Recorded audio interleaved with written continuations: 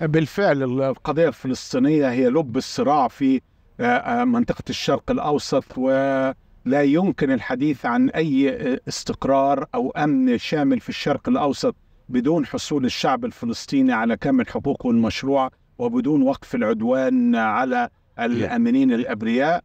آه، بالفعل لدي لقاءات كثيرة كانت في واشنطن وتركزت على الملف الفلسطيني. للتو يعني قبل أن ألتقي بسيادتك كان لدينا لقاء لاجتماع وزاري لمجموعة الاتصال العربية الإسلامية. نعم. وناقشنا التحرك المشترك داخل مجلس الأمن داخل أروقة الأمم المتحدة مع كل الشركاء للعمل على الوقف الفوري للمذابح وأيضا لحقن دماء الفلسطينيين وضمان النفاذ الكامل للمساعدات إلى الشعب الفلسطيني في قطاع غزة ووقف العدوان أيضا عن الضفه الغربيه نعم.